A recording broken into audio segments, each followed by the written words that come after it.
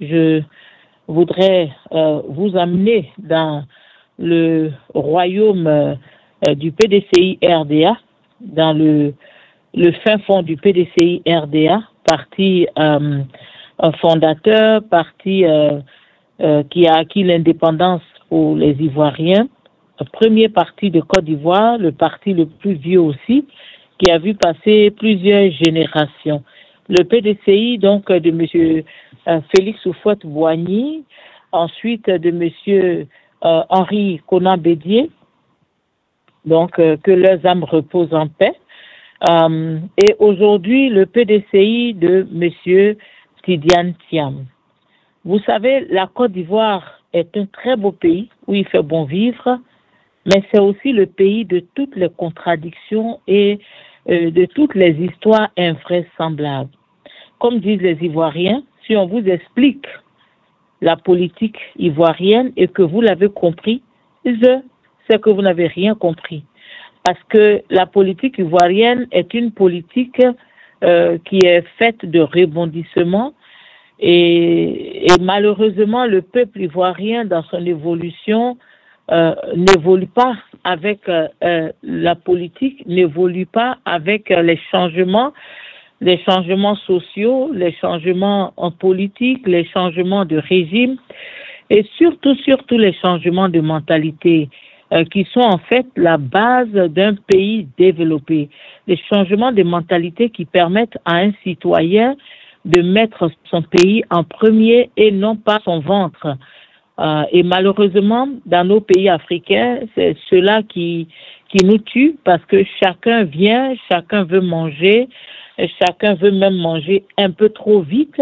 Et en voulant trop vite manger, on finit parfois par s'étouffer et on installe le chaos parce que comme on veut manger, comme on veut à tous les coups euh, continuer à manger, comme on veut à tous les coups continuer à garder tout pour soi, comme on refuse de penser aux besoins de la population, comme on néglige ce que pense la population, alors on se retrouve dans des tractations euh, politiciennes qui ne font que empirer l'atmosphère socio-politique de nos pays. Et la Côte d'Ivoire n'est pas en reste. D'ailleurs, la Côte d'Ivoire est encore euh, plus en danger que tous les autres pays parce que notre pays est assis sur une fournaise avec des positions tranchées partout, des personnes qui disent que euh, si ce n'est pas elle, la Côte d'Ivoire ne doit pas avancer. Les, les, partis politiques sont pour la plupart tranchés sur leur position. Le PPACI vous dira Babo ou rien. Le RDR vous dira Ouattara ou rien. Euh, voilà, le, le, le, GPS vous dira Soro Guillaume ou rien, etc., etc. Donc, avec ces positions tranchées, quel est l'espoir du peuple ivoirien aujourd'hui? Sur qui les, Ivoiriens euh, doivent-ils compter? Vous savez, nous attendons toujours l'avènement de cet homme altruiste, cet altruiste qui va euh, montrer aux Ivoiriens comment on aime son pays. Cette personne, cet homme ou cette femme, pourquoi pas, qui va donner l'exemple de, la probité, un exemple de probité euh, incontestable, un exemple de d'amour de son pays, de patriotisme qui n'a rien à voir avec les patriotismes politisés qu'on utilise, qu'on euh, euh, euh, utilise comme des armes fatales pour détruire la Côte d'Ivoire. Mais quelqu'un qui va dire aux Ivoiriens, si un Ivoirien vend des papiers ivoiriens, il va en prison parce qu'il n'aime pas son pays. Si un Ivoirien vend la forêt, il va en prison parce qu'il n'aime pas son pays si un Ivoirien pose des actes anti-patriotiques, pardon, il va en prison pour que l'Ivoirien apprenne en fait à continuer à aimer son pays. Et ce soir, nous parlons d'un jeune monsieur. Un jeune monsieur qui est notre promotionnaire parce que nous sommes de la même génération, peut-être euh, trois ans de plus que certains parmi nous, quatre ans, deux ans, même, euh, même âge, avec beaucoup de, de ceux qui sont nés juste euh, à l'entrée euh, des indépendances, pour ne pas, pour pas dire au début des indépendances, Monsieur Tidiane Thiam. Nous parlons aujourd'hui du nouveau président du PDCI RDA et de sa première sortie euh, qu'il a effectuée euh, dans la zone de la Nawa, euh, avec le la zone du Sassandra, toute cette région-là, hein, où il est allé voir le peuple bêté, mais aussi les halogènes. N'oubliez pas que cette zone-là compte beaucoup d'halogènes. c'est-à-dire à nos frères qui viennent du Mali, qui viennent du, Burkina Faso, qui viennent de la Guinée euh, et qui sont euh, tous représentés dans cette région. Donc nous avons Soubré, nous avons Saïwa, euh, nous avons toute cette zone Sassandra, j'ai cité, et il est allé là-bas pour une grande tournée et il a choisi cette zone pour sa première tournée. D'ailleurs, il a expliqué pourquoi il a choisi cette zone parce que pour lui, euh, cette zone-là, c'est la zone où euh, il y a plus de production qui profite à l'économie de la Côte d'Ivoire. C'est une grande zone où on produit le, café, le cacao et le café. Euh, ce sont des travailleurs, ce sont des personnes qui, qui travaillent dur pour le pays, mais qui malheureusement ne sont pas récompensées à la valeur de leurs efforts. Nous avons entendu cette pauvre femme qui nous a expliqué le fameux système de marmaille qui se passe là-bas. C'est-à-dire quoi? On vient, on vous dit qu'on veut acheter votre cacao, mais on vous dit que l'argent n'est pas encore arrivé. Vous donnez votre cacao et puis après, pour vous payer, c'est tout un problème. Alors, à qui la faute? Vous savez, euh, quand on est au, au, pouvoir, on ne cherche pas loin pour accuser quelqu'un. Hein. Quand vous entendez les gens dire M. Ouattara gouverne mal, M. Ouattara a échoué, M. Ouattara n'est pas euh, n'est pas ce qu'il a toujours dit, n'est pas un bon économiste, eh bien, ce que les gens veulent dire, c'est tout simplement que M. Ouattara s'est entouré de personnes peut-être incapables, des personnes qui ne font pas bien leur travail, et ça réjaillit automatiquement sur celui qui les a placés là. Et tant que le peuple ne verra pas de sanctions, le peuple considère que hein, celui qui ne dit rien consent, donc le peuple considère que le président Ouattara est complice. Alors, il a commencé son discours en saluant d'abord euh, euh, tous ces grands hommes que nous connaissons tous en Côte d'Ivoire, euh, qui n'a pas connu Monsieur Zadik Essi, hein, qui ne l'a pas connu. Voilà, avec le ECI aujourd'hui CIE, qui n'a pas connu Monsieur JJ Madi, il est toujours là, Monsieur Dikawe, ils sont toujours là. Voilà, et qui n'a pas connu Monsieur Charles Donwaï, nous l'avons tous connu, ce papa. Donc, ce sont des, ce sont des pères que nous avons connus. Ils étaient au PDCI, ils sont restés au PDCI, ils ont servi le PDCI, et jusqu'à ce que Dieu les rappelle à lui, que leurs âmes reposent en paix. Alors, Monsieur euh, Tidiane Thiam a parlé des points assez importants dans cette zone. Euh, comme je vous l'ai dit, j'ai un peu regardé les différentes portions de ses visites et de son discours. Littéralement, son discours n'a pas changé. Son discours est simple. Pour M. Thiam, la population ivoirienne est celle qui mérite d'être remerciée et félicitée.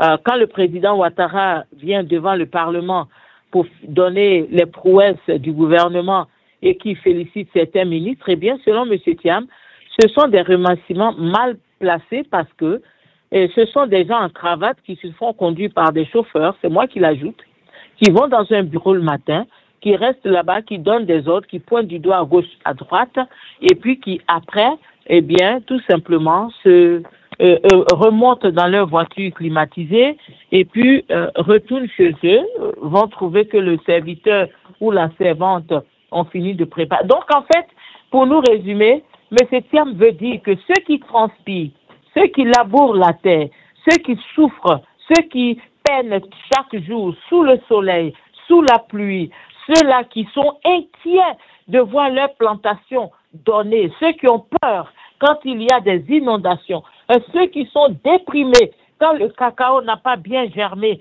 ceux-là qui sont stressés, ce sont nos paysans. Et donc ces paysans méritent qu'on les remercie.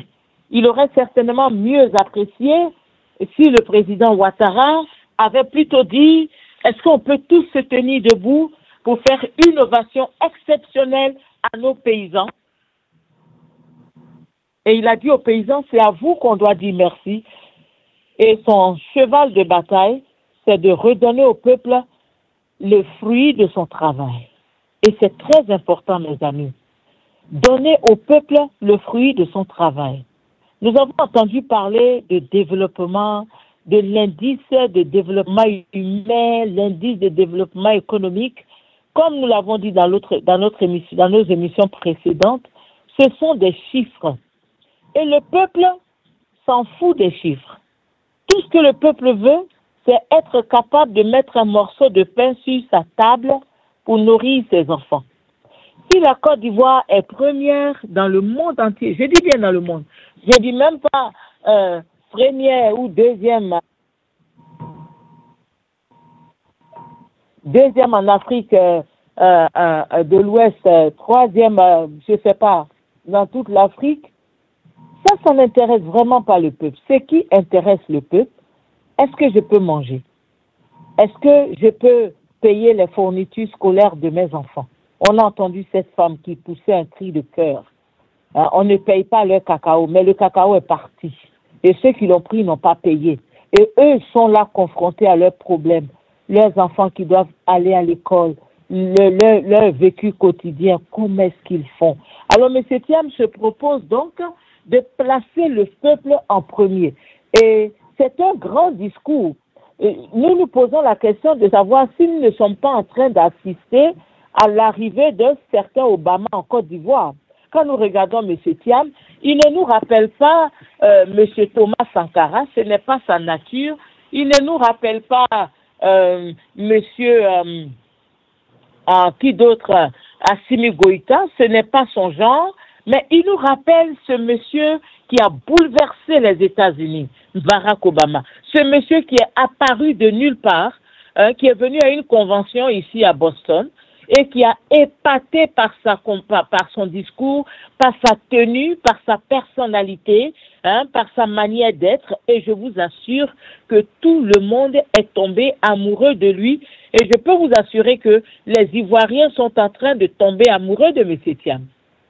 Franchement. Pour ne pas dire, Sister Sarah est en train de tomber amoureuse de M. Stiam, son discours pour le peuple, son discours pour le bien-être des Ivoiriens, son pédigré, son, passé. Euh, quand il nous signale, par exemple, les centrales thermiques qu'il a euh, élaborées et mises en place avec M. Zadi Kessi et qui précise pour dire aux gens qu'est-ce qui a donné le courant aux Ivoiriens pendant la crise? Mais c'est bien ça. Donc, en Côte d'Ivoire, nous avons des intellos, nous avons des érudits, nous avons des personnes, et qui ne connaît pas M. Thiam, euh, il a des amis d'école, nous le savons. M. Thiam a, un grand-père que tout le monde connaît. M. Thiam est allé, vous voyez, il raconte, quand je partais avec le président Fouad Boigny, qui est son grand-père, on s'arrêtait dans chaque village et il parlait à son peuple. Donc, ce monsieur a reçu quelque chose, l'amour de son peuple il a reçu. Euh, pardonnez-moi, je suis pas en train de faire son atalakou. J'ai dit seulement les faits. Voilà. Vous savez qu'on est, qu'on est, on tombe amoureux, on devient un peu bizarre. Donc je suis un peu bizarre en ce moment euh, parce que euh, il commence à m'épater par son discours, bien que je ne sois pas PDCI et que je, je, je suis d'accord que le PDCI a commis de très graves erreurs, mais je me dis qu'aujourd'hui, comme il a dit, c'est un nouveau départ. Voilà, c'est un nouveau départ. Euh, c'est une nouvelle manière de gouverner avec le peuple au centre.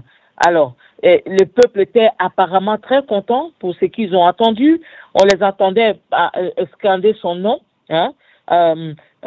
Tidi, c'est ça? Tidiane Tiam, voilà. Et donc, nous croyons que cela va aider la Côte d'Ivoire. Alors, il a, il a parlé d'éléments très importants et je vais parler de ces éléments avant d'aller vers mes frères et sœurs qui, euh, à chaque fois, viennent m'aider à, élaborer les sujets que nous soulevons, M. Thiam parle de gouverner, et je cite ces mots, ce n'est pas seulement la fierté d'être élu ou de se maintenir au pouvoir.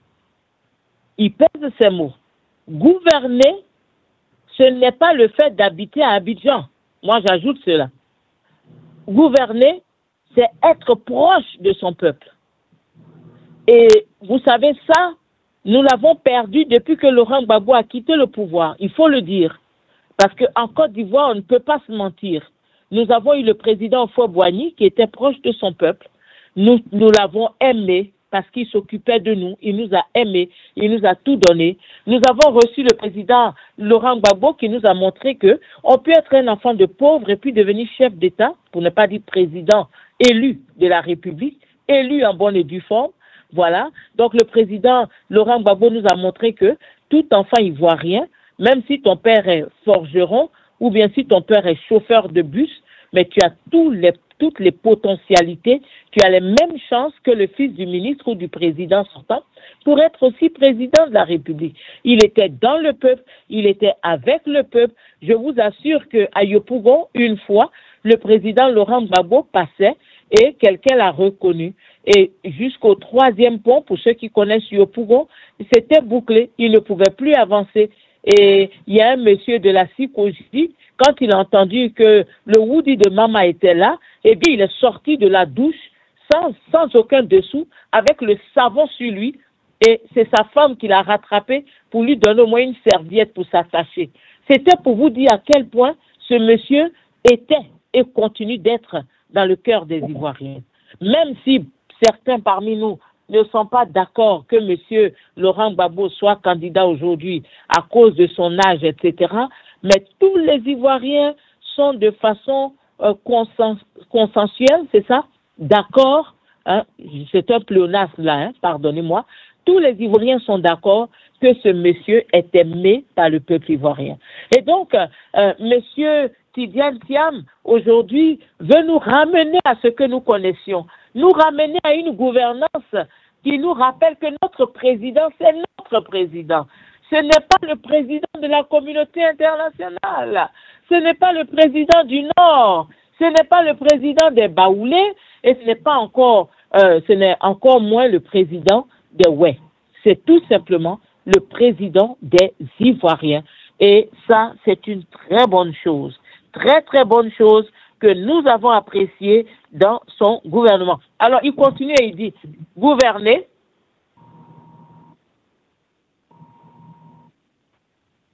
D'accord. Le président Thiam nous dit que gouverner, euh, suivez bien, c'est apporter des solutions concrètes. Concrètes, j'aime ce mot. Il ne s'agit pas de donner des solutions dans des slogans. D'ailleurs, vous savez, en Côte d'Ivoire, chaque président a eu son, a eu son moto, a eu son, a eu son, comment on dit, son cri de guerre. Et nous croyons très bien que le cri de guerre du RDR, c'était à deux solutions. Si vous vous rappelez, le président Ouattara est apparu et il avait pour nous toutes les solutions pour la Côte d'Ivoire, avec les promesses des, habitats sociaux, avec les promesses euh, de réduire la pauvreté, les promesses euh, de créer des emplois, et tout ça, il était vraiment à deux solutions. Alors, M. Thiam nous dit, je ne sais pas si c'est une réplique à, cette, à, à, à, ce cri de guerre du RDM, mais en tout cas, M. Thiam nous dit qu'il faut donner des solutions concrètes au peuple. Il ne s'agit pas de faire un discours et de se faire applaudir par ses supporters. Écoutez, si vos supporters vous applaudissent, il n'y a pas de mérite, puisque ceux qui vous applaudissent sont des gens qui mangent dans votre paume. C'est normal. Mais si quelqu'un qui n'aime pas votre tête est capable de s'asseoir pour dire je n'aime pas ce monsieur, mais en tout cas, je dois vous dire qu'il fait du bon boulot, vous avez gagné tout le pays. Alors, donc, monsieur dit, monsieur Thiam nous dit qu'il faut apporter des solutions concrètes, c'est-à-dire quoi? Le coût de l'électricité est élevé. Il faut apporter des solutions. Aussi simple que ça. le coût de la vie est cher. Il ne s'agit pas d'effleurer le sujet, ni de toucher à ça rapidement, à, pratiquement vers la fin de son discours, pour montrant aux Ivoiriens que ce n'est pas vraiment une priorité, mais il faut en faire un cheval de bataille. Il faut en faire, et, c'est malheureux parce que aujourd'hui, on, mentionne le coût de la vie, on mentionne les, les, habitats sociaux pratiquement à 15 mois de la fin d'un mandat. Alors, on attend encore de voir des miracles et on espère que ces logements sociaux sortiront de terre, mais nous prions que ces logements ne s'écroulent pas pour tuer encore les Ivoiriens, parce que vous savez, quand on construit des maisons en deux semaines, on n'est pas surpris que ces maisons s'écroulent. Et M. Thiam continue pour parler de la mévente. Voilà, la mévente des produits agricoles. Je vous l'avais déjà expliqué. Hein. Et puis la montée des eaux pendant les saisons pluvieuses. Un phénomène naturel, prévisible, un phénomène naturel, incontournable, qui arrive en Côte d'Ivoire chaque année. Ça fait 13 ans que l'eau tue les Ivoiriens. 13 ans, mes amis. 13 bonnes années que les Ivoiriens peuplent leurs enfants. 13 années qu'on n'a pas encore pensé dans le gouvernement M. Ouattara. Il n'y a pas encore eu un stratège pour dire qu'est-ce que nous devons faire pour que les zones ne tuent plus les Ivoiriens. 13 années, je vous assure, multiplié par le nombre de morts. Si en moyenne, moi qui ne suis pas forte en mathématiques, permettez que je vous fasse ce calcul très simple. Si en moyenne, il y a eu 30 morts, et ça, je vous dis ça parce que c'est un chiffre qui est très bas, mais s'il y a eu 30 morts pendant 10 ans, ça fait 300 personnes. C'est ça, non?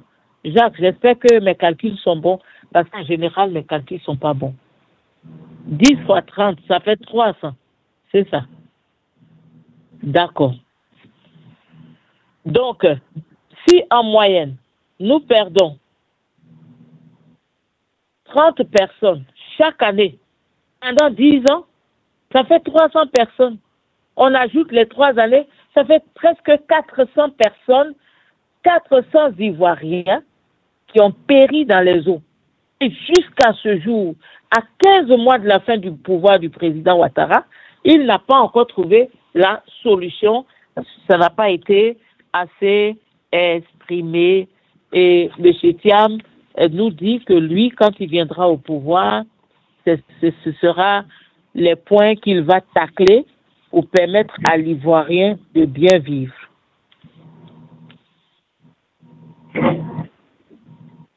Il nous a parlé aussi de l'endettement massif.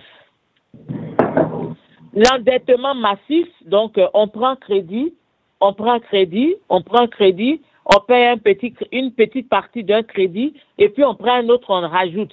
Le problème, c'est que on peut prendre des crédits, on n'est pas contre cela, mais où vont les crédits qu'on prend? Qui en profite? Est-ce que c'est le peuple ou bien ce sont des individus qui ne sont pas d'ailleurs sanctionnés? Et je crois que M. Thiam est un peu euh, est un peu sur ce point. Et nous espérons que euh, si jamais le PDCI prend le pouvoir, que M. Thiam pourra poursuivre, je dis bien, poursuivre les dirigeants actuels et faire des audits pour voir comment ils ont eu leurs milliards. Parce que, en tant que ministre de la Côte d'Ivoire, on ne peut pas sur un salaire de 1 million 800 ou 1 million 200 ou 1 million 500 ou 2 millions pour quelque chose devenir des multimilliardaires. Il va falloir que le prochain président nous aide à demander des comptes à nos chers frères pour leur dire que nous tous on a joué au quartier ici.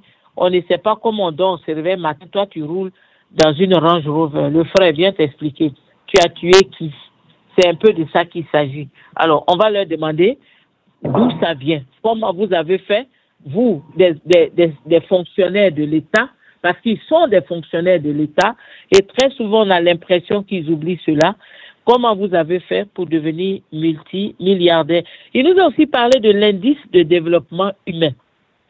Euh, les gens disent IDH, et il a expliqué ça de façon très terre à terre pour nous dire tout simplement que euh, il est mesuré à travers le social, hein, l'éducation et la santé. Donc, euh, la santé, ça nous permet de savoir euh, quel est le taux de mortalité de l'Ivoirien. C'est-à-dire un Ivoirien qui vit aujourd'hui, qui naît aujourd'hui, il a combien d'années à vivre? En fonction de toutes les infrastructures médicales qu'on met à sa disposition. Vous savez, il y a des gens qui meurent, pas parce que les sorciers les ont mangés, mais parce que le gouvernement n'a pas mis à leur disposition des frais gratuits, tout simplement. Comme on le faisait au temps de Fouette Boigny. Tu as le palu, tu vas à l'hôpital, tu ne payes rien, on fait la queue sur la table, le banc, tu attends ton tour, le médecin t'examine, il te donne, euh, il te dit d'aller voir le fumier qui est là-bas. Si c'est pas grave, on te donne des deux ou trois tablettes de Nivaquine et on te dit prends-les comme ci, comme ça. aspirine, euh, doliprane, on te dit voilà, prends comme ci, prends comme ça, et puis tu rentres à la maison. Aujourd'hui, ça n'existe plus. Si tu vas à l'hôpital, on t'impose des frais incroyables et beaucoup de personnes meurent. Des gens qui auraient peut-être vécu jusqu'à 60 ans. Donc, voilà le problème que ça pose. Et donc, euh, l'éducation, eh bien, écoutez, ça fait rire souvent quand euh, on nous parle de chiffres. Parce que nous qui vivons dans le peuple et avec le peuple, nous voyons les effets du développement dans l'éducation. Aujourd'hui, prenez un enfant qui parle français. Moi, j'ai mal au cœur quand j'entends des journalistes, des radios télé ivoiriennes qui pondent des œufs d'autruche à chaque phrase. Ça me terrorise et ça me, ça me, ça me, ça me fait peur. Quand quelqu'un dit je l'ai je parlé, un animateur télé ou radio qui ne connaît pas à quel moment on dit lui ou le, qui ne sait pas qu'on parle à quelqu'un ou on parle de quelqu'un, qui ne connaît pas cette différence. On nous dit que l'éducation a progressé. Pourquoi? Parce qu'on a neuf bâtiments qu'on appelle universités. Pendant que quand les Ivoiriens parlent le français, on a mal à la tête. Pendant que quand les gens sortent de la Côte d'Ivoire pour aller dans les pays européens et américains, on leur fait prendre des cours, beaucoup de cours, parce que les classes, les diplômes ne sont pas à un bon niveau. Et donc, on est obligé de leur demander de recommencer. De recommencer, oui, de recommencer, tout simplement. On leur demande de recommencer. Alors, allez-y comprendre quelque chose. Alors, est-ce que M. Thiam est le nouvel Obama de la Côte d'Ivoire Voilà un peu ce soir, quand on a écouté son discours, voilà ce que nous voulons euh, discuter. Il a eu une réception incroyable. Il n'y avait pas de place. Si on jetait un caillou, ça ne pouvait pas toucher le sol. Les gens étaient heureux de le voir. Ce n'était pas des rassemblements forcés ou bien parce qu'on a donné du pain et des sardines aux gens ou bien parce qu'on leur a donné des bus pour se déplacer, comme ça a été le cas du voyage sur Korogo. Hein. Ce n'est pas moi qui le dis, hein, c'est ce qui s'est passé. Hein. Euh, on est tous témoins. Hein. Et là, le PDCI n'a pas utilisé les infrastructures de l'État pour faire son déplacement, pour aller faire son meeting à Soubri. Non, le PDCI a organisé ses bases et c'est ce que nous voulons en Côte d'Ivoire. Malheureusement, aujourd'hui, nous ne voyons pas la différence entre le parti et, l'État. Et donc, euh, ce qui appartient à l'État appartient au parti au pouvoir. Et donc, on peut prendre des bus et aller jusqu'à Korogo, utiliser le carburant ivoirien, aller faire des meetings au stade, distribuer des 5, 5 000 et des 10 000 à des, à des vieilles personnes qui ne pourront utiliser ça que pour peut-être acheter un bidon de Tchapalo, et puis après vont revenir dans la faim qui les tue tous les jours, la pauvreté qui les tue tous les jours, et puis on prend les voitures climatisées, on revient à Abidjan, dans la capitale, et puis voilà. Donc, mesdames et messieurs, bonsoir et bienvenue à Analyse politique. Je voudrais saluer mes